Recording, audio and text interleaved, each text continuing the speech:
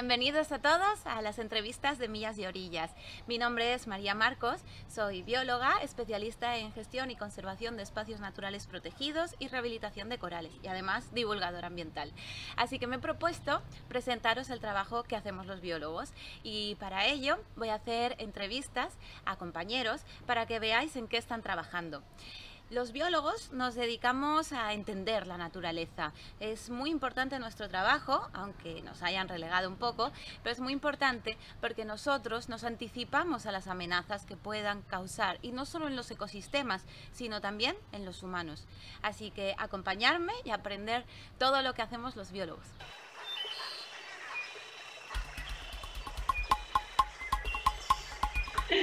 Vale, empezamos. Bienvenidos a todos a las primeras entrevistas sobre divulgación ambiental. Vamos a empezar a hacer un poco para conocer el trabajo de, los biólogos y de las biólogas que hacen cosas muy interesantes.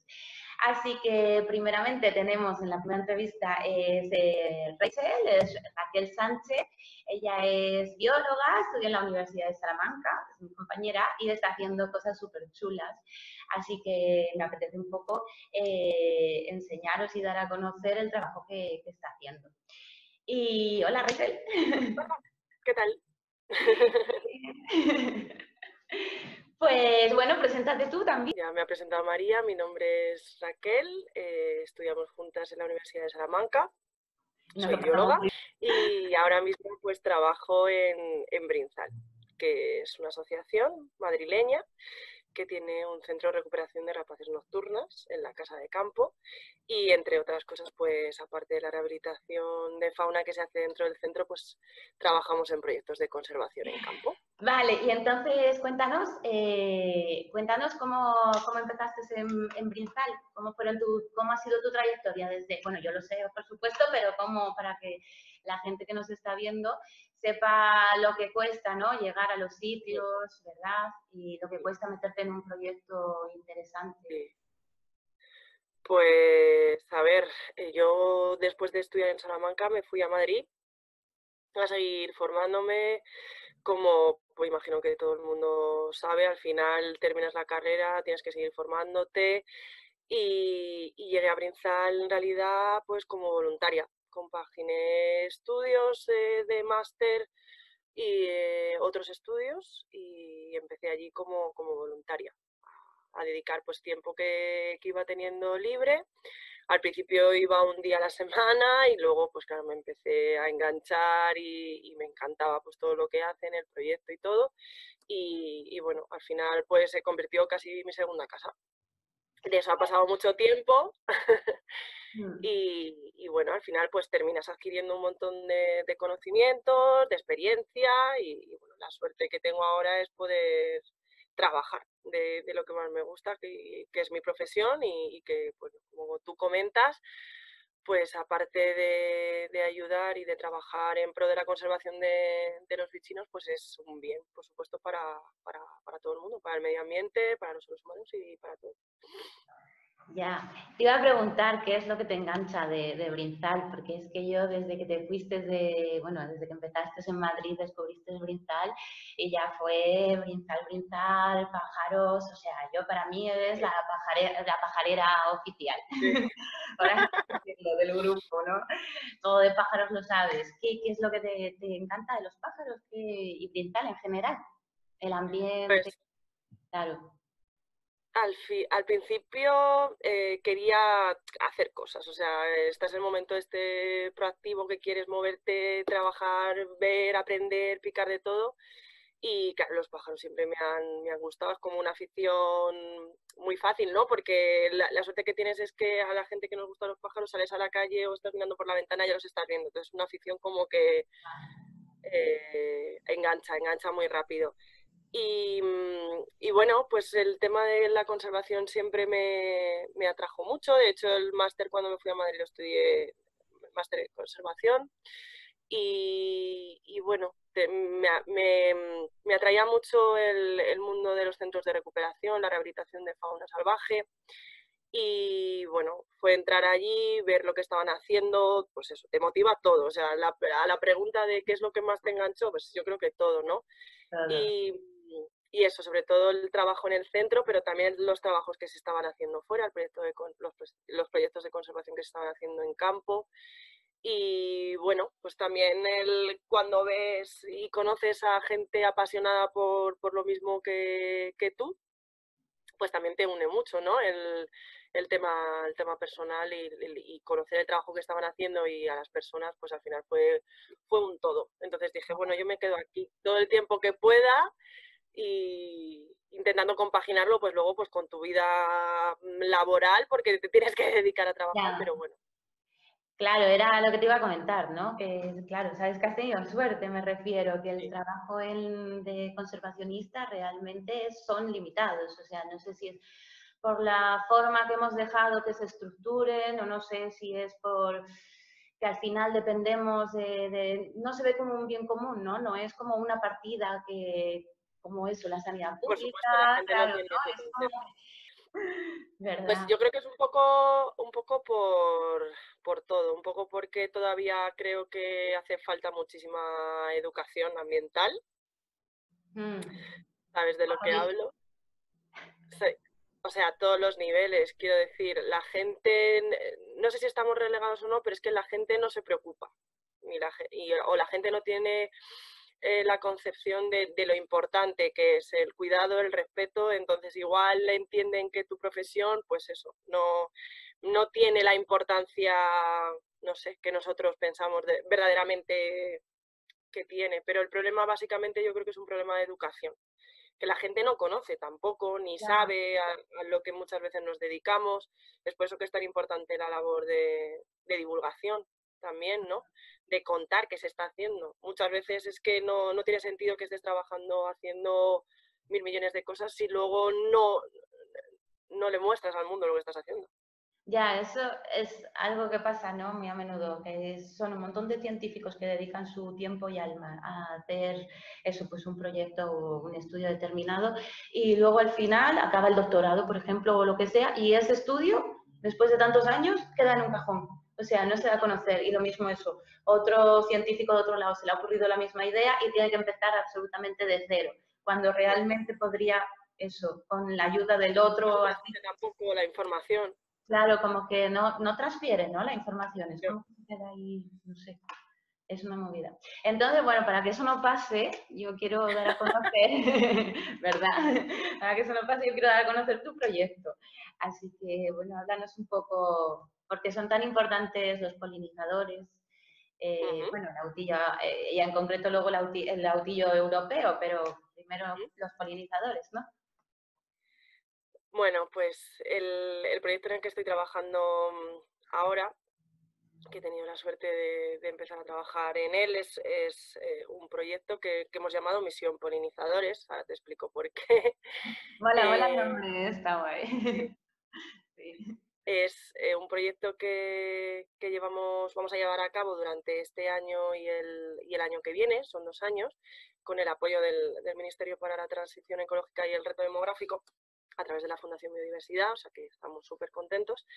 Em, vamos a trabajar pues valorando el estado de las poblaciones que tienen estos insectos polinizadores, eh, tanto en medio rural como en medio urbano.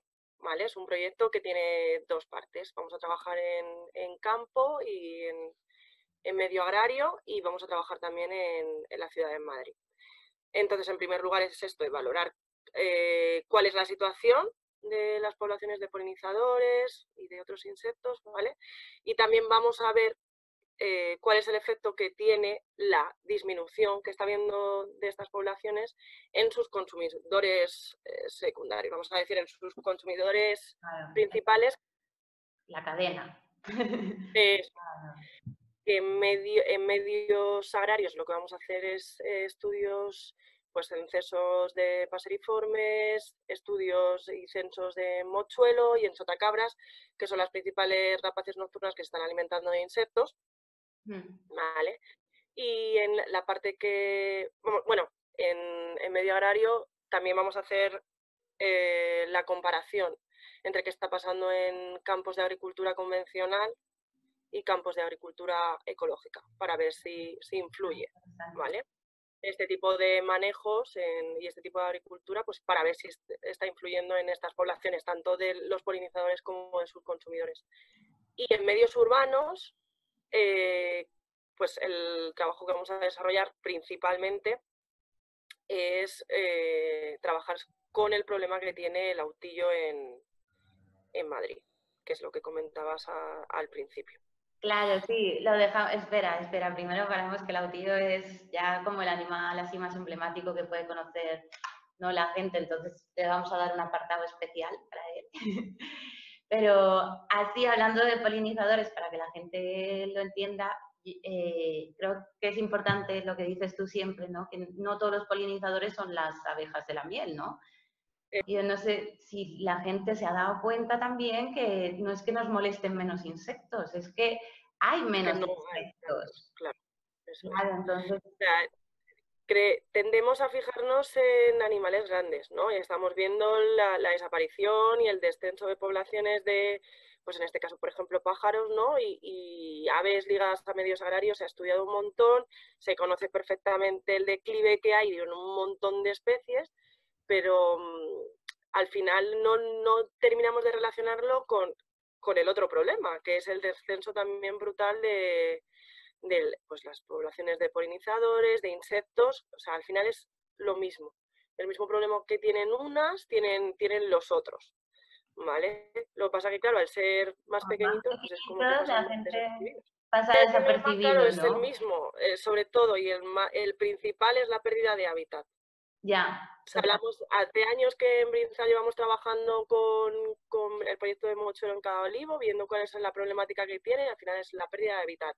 Pero es que es la pérdida de hábitat la que le está eh, causando el problema al mochuelo y la que le está causando el problema al insecto. O sea, no hay espacio para que viva el insecto, entonces no hay, no hay presa para, para el mochuelo. O sea, al final ah. es pérdida de hábitat, degradación, lo que estabas comentando, tema de los fitosanitarios, directa o indirectamente al final, pues eh, no es una causa sola, es una mezcla de causas, pero, pero sí están haciendo que, las poblaciones pues eh, estén reduciéndose drásticamente.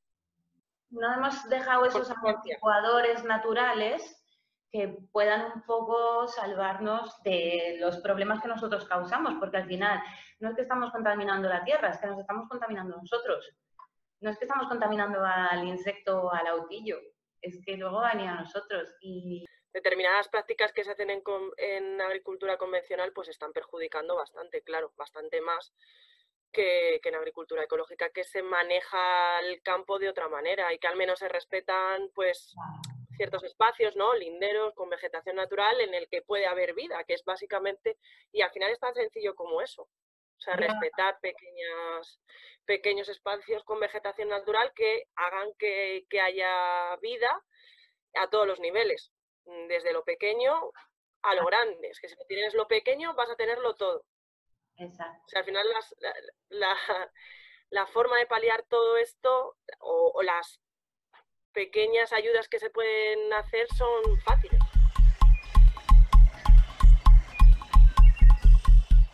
¿Qué pasa con el autillo?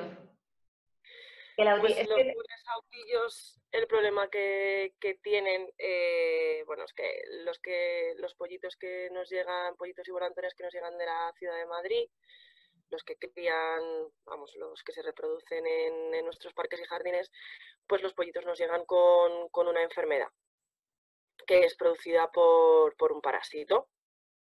¿Vale? Es una parasitosis accidental porque no completa el ciclo el parásito en, el autillo, pero lo que hace al final es eh, le produce unas lesiones en la boca que le impiden comer. Entonces los pollitos pues, pues llegan a morir por inanición. Eh, porque lo mismo estamos hablando del autillo y la gente no sabe lo que es. Vale. Ponemos, ponemos la foto del autillo Sí, ¿la pones tú o lo intento yo? A ver, pongo, tengo aquí el sonido del autillo.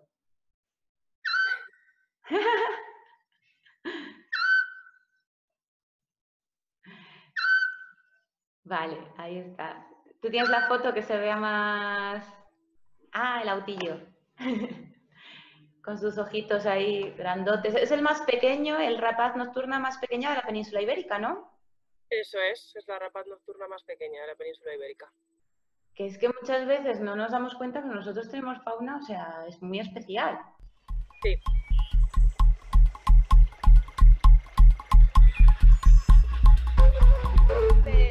Hablamos del autillo, del autillo europeo. Claro, pues este, este pajarillo ya acabamos de poner la foto. Es la, bueno, como hemos, como hemos dicho, la rapaz nocturna más pequeña que tenemos en, la península ibérica tiene, pues eso, unos 20 centímetros de, ¿eh? de, altura. Es, un mini búho. Como una lata de Coca-Cola. Para que todo el mundo lo entienda. Vale. es que es muy pequeñito, pero eso se puede esconder muy bien también. Y por eso, claro, los insectos pequeñitos y tal. Y lo que está pasando es que, como un buen amigo ha escrito sobre ello, ¿no? Este Álvaro Luna, eh, sobre la fauna que tenemos en las ciudades, ¿no? Entonces, el autillo europeo es uno de estos casos que se ha venido o se ha encontrado a salvo o por qué ha decidido eh, meterse en Madrid a vivir.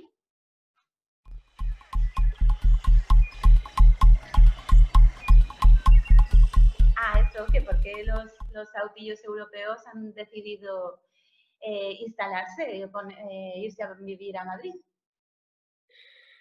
Bueno, pues al final es como le está pasando también a otras muchas especies, que, pensamos que las ciudades a priori no, no, son lugar ¿no? para la fauna salvaje, pero sí encuentran pues determinados sitios que se parecen o que se asemejan a, a lo que serían sus hábitats naturales y, bueno, sobre todo pues si tienen una fuente de alimento, hacen, hacen uso de, estos espacios y el autillo en concreto pues utiliza parques y jardines eh, de Madrid, pues, parques y jardines que todo el mundo puede conocer en Madrid, el Parque del Oeste, el Parque del Retiro, pues, pues tenemos autillos, tenemos autillos criando en, en ellos. Muy bonito, es muy especial, la gente debería valorarlo, ir a verlos cuidadosamente, ¿verdad?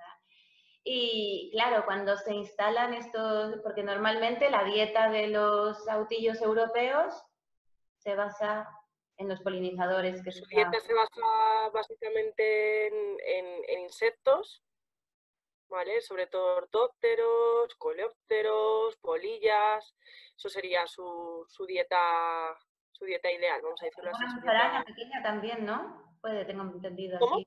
Roedores pequeñitos como musarañas pueden llegar a... Se han encontrado, en, hay estudios en los que se ha encontrado también algún pájaro, algún pájaro pequeñito, pero es, algo más puntual. Lo normal es que se alimenten básicamente de insectos.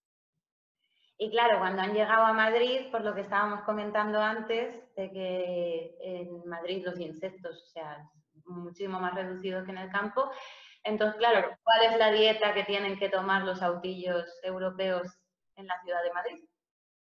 Pues en Madrid lo que está pasando es que se están alimentando sobre todo pues de uno de los insectos que más abundantes que tenemos en la ciudad, sobre todo en, en esa época de verano, que es cuando ellos eh, están criando y necesitan, necesitan pues mayor cantidad de insectos para alimentar a sus pollos y son las cucarachas.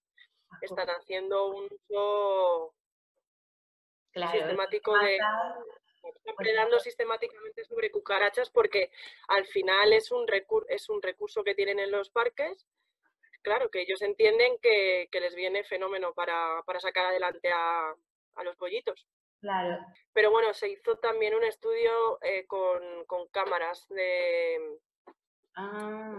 con barrera para hacer fotos a la entrada de los nidos para ver qué tipo de ah, llevaban al nido para alimentar a los pollos. Y también se hizo estudio en, un estudio previo eh, de, la diversidad que había de insectos en las, en las zonas eh, a los, en los alrededores de los nidos que, se habían encontrado de, autillo en los parques. Entonces, si se tiene bastante claro un poco de qué se están alimentando los autillos en Madrid, que es como comentábamos de cucarachas, y que también lo que es la diversidad de insectos en, los parques y jardines pues es más bien escasa. Claro, escasa. Y, claro, todo esto viene a que dentro de esas cucarachas hay un parásito, que es un nemátodo. Eso es. El problema, de, el problema asociado además a que solo tengan o casi solo puedan alimentarse de cucarachas porque no hay, otro, no hay otras presas, no hay otros insectos presentes, es que estas cucarachas pues tienen un parásito eh, que mm, parasita de manera accidental a, los pollos de autillo porque no termina el ciclo en ellos. Los autillos no son su hospedador definitivo, pero aunque el parásito muere, les crea unas lesiones en la cavidad oral que en muchos casos pues les, les, imposibilita alimentarse correctamente y pueden morir por inanición. Y eso, eso me llama la atención. ¿Cómo, o sea, cuando os llega algún polluelo de autillo con, con el nemátodo, ¿cómo identificáis? ¿Se, se ve bien o cómo...? cuando, le abres la, cuando le abres la, el piquito, toda la cavidad oral, sobre todo la, la parte de arriba está cubierta de una masa, como una masa blanquecina, como una pasta blanquecina pegada en, en la boca. Hmm. ¿Y a brinzales llegan porque se han caído de nidos o por cómo os llegan? ¿Ya sabéis vosotros en esta zona, en esta zona hay, vamos a ver cómo están? Normalmente se los suele encontrar la gente. Los, el problema también que hay con, con volantones de, de, rapaces nocturnas es que saltan de los nidos mucho, o sea, con, antes de que puedan, puedan volar. Entonces, ah. eh, si estuvieran en su entorno natural, nosotros ni nos enteraríamos y no pasaría nada porque sus padres están pendientes por ahí para alimentarles. Pero imagínate en Madrid, en Madrid está cayendo eh, pues en el césped de un parque que está lleno de gente, evidentemente, porque estás de paseo o pasando el rato o con tu perro entonces, claro, eh, se encuentran de, muchos más pollos en estas circunstancias que, si estuvieran en su entorno natural. Entonces, esto es un mensaje también para dar a la gente, ¿no? Que si se encuentran un, un polluelo de estos, que lo dejen donde están, si ven que no está herido, pero claro, efectivamente. si ven que no está herido, el siguiente, si no tiene la información, lo va a coger, ¿no? Ese es el problema. Pero tal vez si todos los ciudadanos estuvieran concienciados de que probablemente esté la madre cerca y que no le va a pasar nada, ¿no? Sí. Pues no se recogerían de forma accidental, de forma bien intencionada, porque también es verdad que hay que aclarar que de, o sea, hace ya tiempo que observamos que hay mucha más gente preocupada, sensibilizada y que, y que pretende realmente ayudar a ese animal, lo que pasa que, como bien dices, hay que estar eh, seguros de verdad que el animal necesita nuestra ayuda. ¿Cuántos tenéis en el centro? ¿De autillos o en general? De todo tenéis un montón, ¿no? Ahora hay un montón, sí. Y a todos esos hay que darles de comer, claro. Eso es. ya que no es fácil. Bueno, bueno, que luego sepa la gente que luego los liberáis que hacen su vida. Sí, claro, claro. O sea, eh, al final, el centro de recuperación em, es como, por así decirlo, un hospital. Exacto. Es un hospital, ¿vale? O sea, allí entran los animales que no pueden desarrollar su vida de forma normal porque han tenido un problema. Normalmente los problemas suelen estar asociados a, a nosotros, o atropellos o colisiones o algún problema ¿vale? Y después del tiempo que pasan en el hospital y la rehabilitación y la recuperación, esos animales son, son liberados. Muy bien. ¿Ves? Por eso es una gran labor, porque es como el hospital, eh, bueno, es el hospital de los animales. Es el hospital. De los animales de Madrid. Bueno, y así para acabar, claro, tengo dos, dos últimas preguntas, ¿vale? Que al final te he hecho más. bueno, la primera, ¿qué medidas para que a los autillos no les pase esto? ¿Qué medidas mm, serían posibles proponer? A ver, es complicado, pero, mm, pero hay medidas y hay cosas que sí que se pueden hacer. Eh, entre ellas, por ejemplo, facilitar que haya biodiversidad en los parques. ¿vale? O sea, sería una medida... Estrella. Por ejemplo, básica. Básica. Si el autillo tuviera, si, claro, si el autillo tuviera otro tipo de presas, no tendría que alimentarse casi exclusivamente de cucarachas, alguna comería, ¿no? Porque, porque puede, están dentro de sus presas, pero no tendría que alimentarse sistemáticamente de ellas y así el porcentaje de cucarachas que ingiere con, parásitos sería, sería menor. Entonces, por ejemplo, empezar por, por, un cambio en el manejo que se hace de los parques y jardines, ¿no? De, Claro, aumentar la biodiversidad de plantas. Claro, y ese es uno de los objetivos del proyecto, ¿no? O sea, devolverle un poco a los parques o intentar eh, asesorar a la administración en este caso para que, los parques al final, aparte de espacios de uso público que, que son imprescindibles en las ciudades, también tengan un carácter natural cosa que, que, reproduzcan un sistema natural como el que podríamos encontrarnos si salimos, si salimos de la ciudad. Y esa es un poco la idea. Pues habría que hacer cambios en, un poco en el manejo, ¿no? Eh, pero bueno, no son cambios muy, muy drásticos, son, o sea, son medidas tan, tan sencillas como utilizar eh, más variedad de plantas. Devolverle la importancia a las especies vegetales silvestres, que van a hacer pues que aumente la biodiversidad y aparte que atraigamos a esa biodiversidad que es, que es propia, que es autóctona, ¿no? Pues estamos hablando en este caso, pues claro, de todos los polinizadores, pues como hemos dicho al principio, no solo los polinizadores son, son la abeja de la miel, que es solo una especie, sino que solo en España tenemos más de mil especies de abejas silvestres. Pero aparte también son polinizadores las mariposas, las polillas, escarabajos, hormigas, quiero decir que hay una diversidad brutal, que al final pues es la que va a devolver eh, ese, carácter natural o va a devolver o va a darle ese carácter natural a los parques y jardines y que va además también favorecer los servicios ecosistémicos del propio, parte, del propio parque. No nos tenemos que olvidar que los polinizadores pues desarrollan esa labor fundamental que es la polinización y que aparte de para la agricultura también es importantísima para, para el 80% de las plantas con flor silvestres. Nosotros no vamos a ir polinizando todas las flores para tener nuestro alimento, o sea, dependemos de ello. Se puede hacer y se está haciendo, de hecho, ya, o sea, pero llegados al punto de que el, declive que están sufriendo es tan, tan drástico que, bueno, que se están tomando medidas pues así, de, intentar reproducir de alguna manera esa labor que, estos insectos hacen, que es imposible reproducir por, por un humano, por supuesto. Vale, y así para acabar, que ya no sé cuánto llevamos.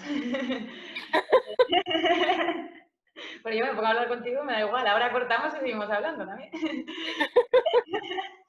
Pero bueno, es un, mensaje para no, para, no solo para los biólogos o para gente que esté estudiando biología, sino un mensaje en general, abierto, un mensaje que quieras lanzar al mundo. O a los que vean esto, claro. Piénsalo, ¿eh?